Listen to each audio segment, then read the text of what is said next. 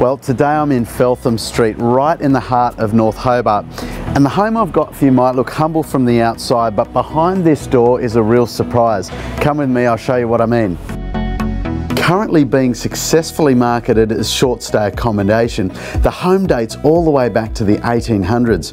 The ceiling roses and exposed convict bricks are complemented by impressive porcelain tile floors with inset carpets, along with a combination of electric and gas heating and a beautiful working open fireplace in the living room. The downstairs bedroom features built-in robes and the attic space upstairs has been converted to create a spacious and light-filled second bedroom with plenty of space for a study. The quality renovation continues in the bathroom which features heated towel rails and floor-to-ceiling porcelain tiles.